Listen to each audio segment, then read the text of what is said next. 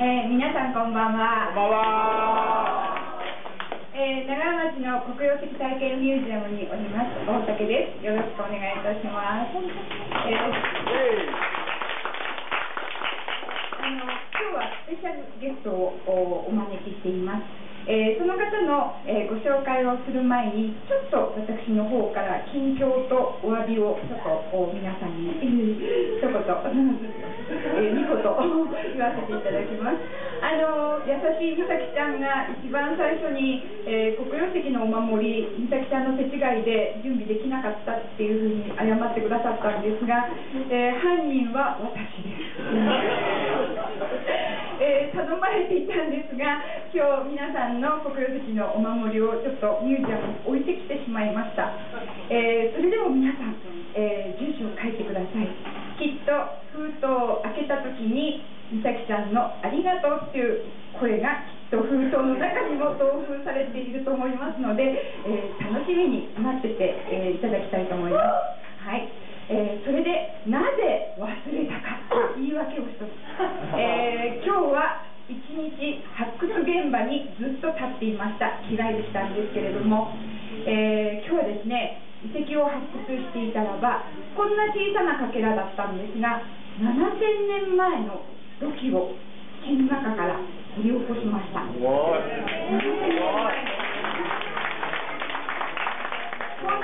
なかけらなんですけどその時歯ブラシでちょっと洗って泥を落としたらばがついていたんで。す7000年ぶりに人の手にその土器は触れたわけですけども、うん、7000年前にあこの土鍋でなんか煮物をしてたんだなと思ったらばもう6時でした、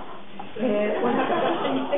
えー、今ぐんぐんお腹実は鳴っているんですけれども何を食べたんだろうななんて思いながらここにやってきました。そうしましたらば、まあ、そんなことで実は慌ててきちゃったので忘れたということだったんですがここに来たらばなんか不思議な匂いがしました。皆さん食べました？鹿のお肉ですよね、えー、もしかしたら7000年前にあの土器で鹿肉を煮ていたんではないかななんて今日はちょっと思ったりしました。実はその鹿の話なんですが、えー、来月のコンサートの時にちょっと詳しくご紹介しようと思ってるんですが今ですね8月のイベントに向けてすごいことをしています。縄文土器で作った太鼓45個頑張って作っているんです。この土器の皮今日のこの後演奏される方の太鼓はヤギの皮だと聞きましたがうちは45個の縄文土器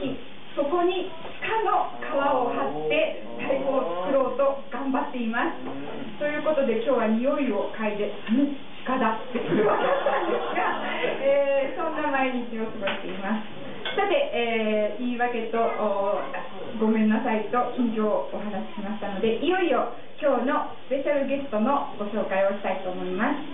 えー、このコンサートで黒曜石そして、えー、それにまつわる旧石器縄文時代の遺跡を世界遺産にしようという運動をずっとしています。そのためには、え、ここに集まった皆さんに黒曜石の時代約3万数千年間続きます。戦争のないとても平和な時代でした。その黒曜石の時代どんな人たちがどんな思いで生活をしていたのかそのことをちょっとみんなで詳しく知っていこう、えー、それを学びながら胸を張って世界遺産にこれを押し出そうということで毎月お時間をいただいてショートスピーチをさせていただいています、えー、今日はですねえー、こちらにちょっとおいでください。スペシャルゲストご紹介します、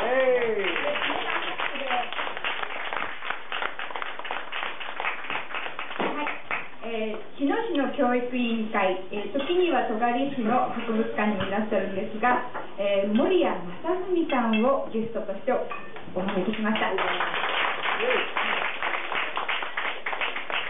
ー、とても一見寡黙な方ですえー、ちょっとご紹介します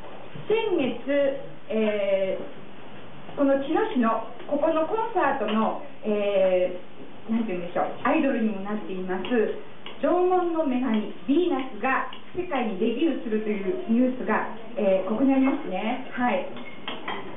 大英博物館に日本を代表する文化ということでこのヴィーナス君がイギリスに今向かって、えー、旅立っています、え、せっかくそういうニュースがありましたのでこのコンサートのキャラクターになっているこの女神のことをお話ししてもらう、えー、ということになりますとこれを発掘した人をお招きするのが一番かなと思いまして守屋さんにお願いいたしました。実は考古学の専門家と言われる人たちが全国で5000人近くいますでもその5000人の専門家の中で縄文のビーナス国宝です。そして日野市にはもう一つ仮面土偶というこういう、えー、土偶も見つかっています。その5000人の中でですね唯一この方だけだと思います。この国宝と重要文化財のこの2つを発掘した方なんですね、えー、どういうパワーなのかなとなかなか5000人そして何十年間調査しててもそういう経験はなかなかできません、えー、そのことを今日はお聞きしたいと思っています。えー、森谷さんの専門は黒曜石の時代そして新しい時代も全ての時代に明るい方です、えー、そしてですね得意は、えー、日野市の遺跡どこか見に行きたいと言ったらば森谷さんに聞けばどの道をどういうふうに行けばその遺跡にたどり着けるか一番詳しい方です。私も学生時代に遺跡に案内してもらいました。遺跡の場所に行く。しかもですねその運転、え内緒ですよ。すごいんです。タイムマシーンのようなスピードで安定してくれます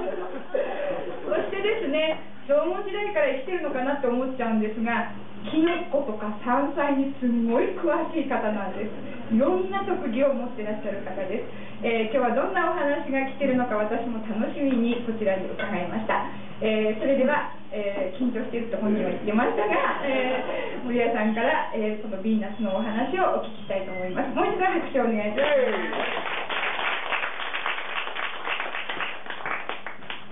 えこういう先生あまり喋らないものですから本当は寡黙なんですあまり喋りません。えっと今日はねあの実はいつもあの喋ってることがあのそれは難しいことばっかり喋りますけれども実は、えー、あまり喋っていないことを2つ最初に前振りで喋りたいと思います。えっとまず最初にですね発見した時の状況あまり私喋ったことないんです実は、えっとこれ昭和61年なんです。けどちょうど皆さん方が今おいでいただいているこの灰原だというこの地区のもうちょっと上なんですけれどもところに七夕遺跡っていう遺跡があるんです。それが、え昭和61年の8、え9月の8日、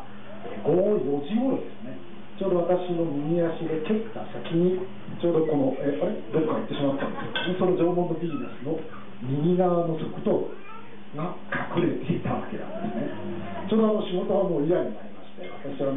ポケットに手を突っ込むこういう癖があるんですから右足でまあ、国宝の右側の頭を蹴った。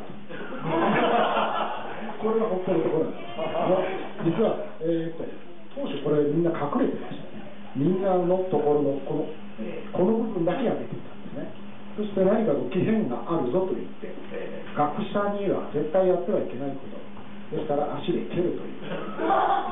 これをやってしまったおかげで、え、ずっと因果がついて回ってしまったというのが必要なんですけれども。えー、それがですね、えー、実は、えー、あまり喋りたくなかったんですね